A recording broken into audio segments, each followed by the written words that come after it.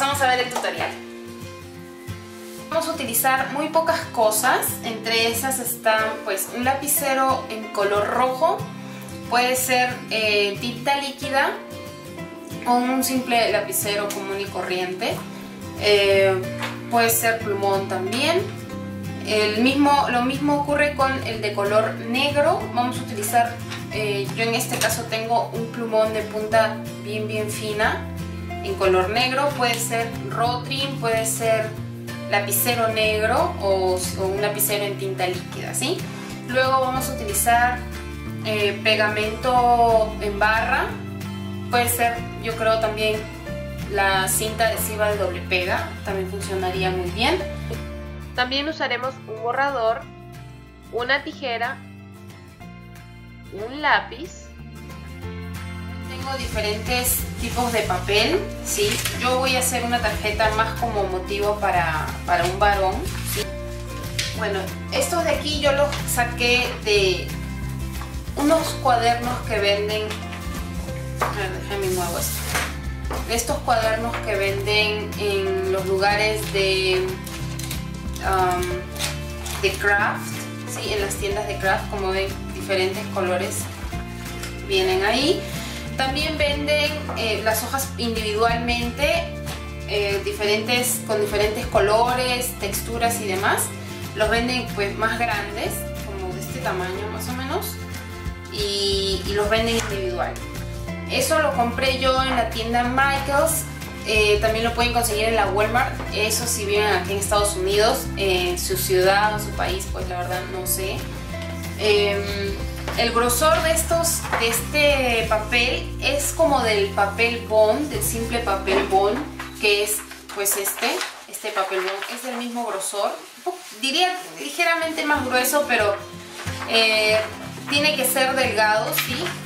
Eh, para, porque vamos a hacer unas, unos sobres y estos sobres pues tienen que ser con papel delgado, si no, no salen bien.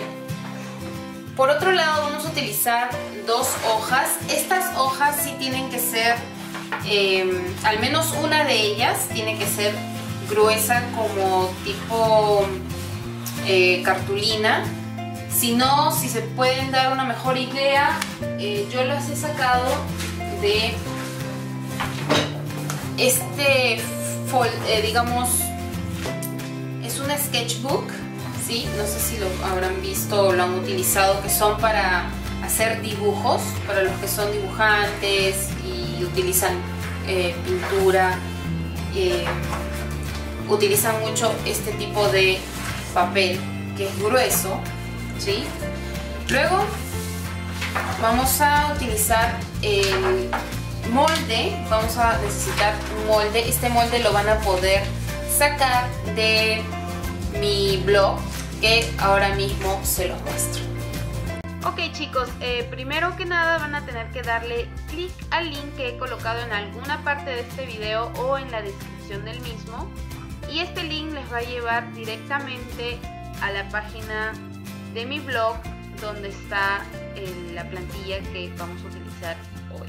Antes de pasar a imprimir quisiera explicarles un poquito de lo que van a ver en, esta, en mi blog y les he colocado, en caso quisieran, eh, unos sobrecitos que ya vienen con el diseño y todo. Si que lo quieren imprimir, eh, pues lo pueden hacer. Eh, también les he colocado otra plantilla con otro tipo de sobrecitos. si, les gusta, si les gusta más, lo pueden imprimir ese también. Y por último, les he colocado frases en caso lo quieran utilizar los tienen en inglés y traducidos al español también. Y ahora sí, vámonos al, a la plantilla, que es esta la que vamos a utilizar. Le vamos a dar clic derecho, eh, guardar como o save image as, le vamos a dar clic ahí. Y les aconsejo guardarlo en el, en el desktop o escritorio para que luego no se les vaya a perder. Luego le van a dar clic en guardar voy a cerrar esto, minimizar y como ven aquí lo tienen simplemente clic derecho sobre la imagen e imprimir, imprimir. ¿ok? como pueden ver, ah, posiblemente se vea como que la imagen sobresale de la hoja. Entonces eso es porque tienen el check aquí donde dice Fit Picture to Frame. Le van a quitar eso. Y van a ver que se va a corregir ese problema. Y ahora le pueden dar clic en imprimir. Bueno, eh, como ven hay tres tamaños de tarjetas. Ustedes eh, pueden usar el que mejor les parezca. Entonces yo voy a utilizar esta de aquí, la mediana.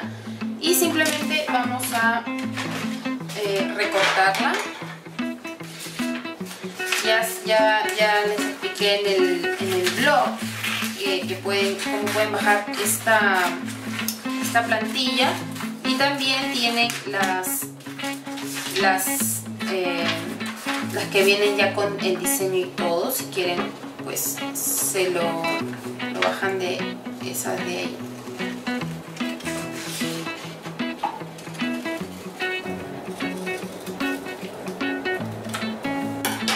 Y bueno, como ven yo ya recorté molde y este molde simplemente lo voy a, ir eh, pasando o copiando en cada una de las eh, hojitas decorativas que tengo aquí. So, para que no se vean las marcas, lo voy a hacer por el lado de reverso. Entonces, solo copio el molde con el lápiz.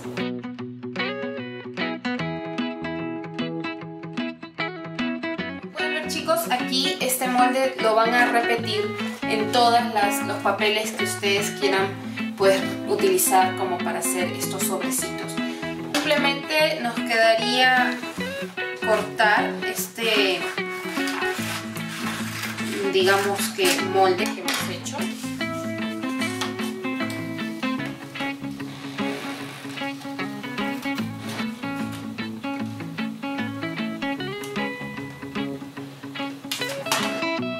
Eh, ya sabemos que según el molde van unas ah, dobleces en forma de rectángulo, ¿sí? Entonces, vamos a... Voy a empezar por aquí.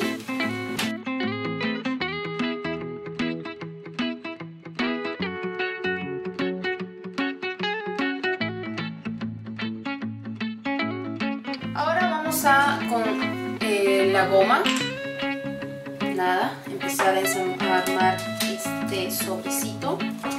Son solamente dos puntitos. Por aquí, por acá. Mi goma ya está medio seca. Por eso se me pone pegajosísimo. Bueno por aquí. Y esto lo van a cerrar así y más nada. Esto va a quedar abierto, esto no lo tienen que cerrar ni nada. Entonces como estos sobrecitos de aquí van a ustedes hacer con los otros siete moldes que tienen, ¿sí? Ahora les quisiera hablar de lo que vendrían a ser los mensajitos. Los mensajitos que van dentro de los sobrecitos van a ser obviamente 8. Y eh, para esto primerito vamos a tomar la tarjeta, o el sobre, perdón, y vamos a cortar, eh, vamos a colocarlo sobre el papel que vamos a utilizar para, para el mensaje vamos a marcar el área entonces este es el tamaño del, papelito que va dentro del sobre y ustedes lo van a recortar ligeramente más pequeñito ¿sí? redondeado las, las esquinas ¿sí? y este les va a servir para eh, como molde para los otros siete vamos a colocarlo sobre el papel y simplemente vamos a dibujarlo. Y ya que tengan sus tarjetas, pues nada, empiezan a escribir las frases que más les guste. Lo pueden sacar, como les dije, del blog también, que los tienen en inglés o en español. Y aquí les muestro cómo me quedaron a mí. Yo utilicé diferentes colores de plumones o pueden usar lapiceros o lo que tengan a la mano. Ahora, en cuanto a la base para la tarjeta, voy a utilizar el ancho exacto de mi regla para hacer una marca en la parte inferior y en la parte del costado, ya que lo quiero recortar porque se me hace que esta hoja es un poco grande para lo que voy a hacer, pero si ustedes gustan lo pueden dejar yo solo tal cual,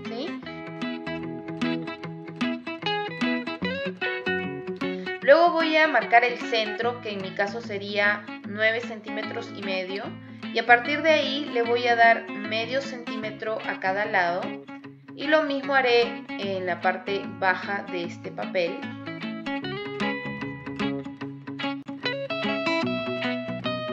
Y bueno, ahora estas marcas me van a servir para poder trazar dos líneas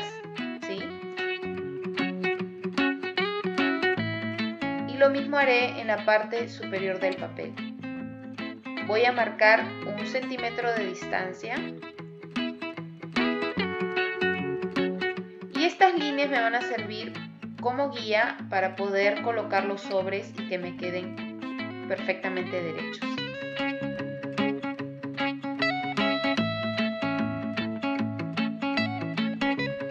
Obviamente vamos a eh, colocarlos eh, ordenadamente y que los colores eh, pues se vean bien en conjunto.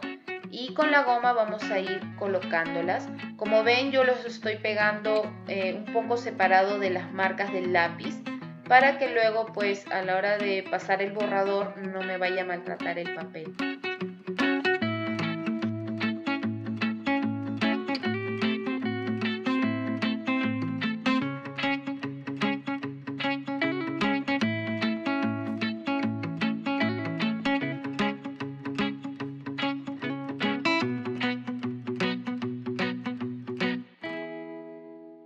En la parte baja de, esta tarjeta vamos a escribir la frase de I love you. Y voy a trazar dos líneas em, para que me sirvan de guía eh, al momento de que haga, haga la frase y no me quede una letra más grande que la otra.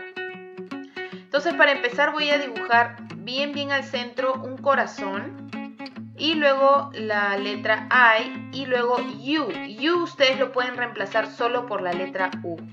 Luego el corazón lo voy a, a pintar muy muy bien con el lapicero rojo. Y lo mismo haré al trazar las letras con el plumón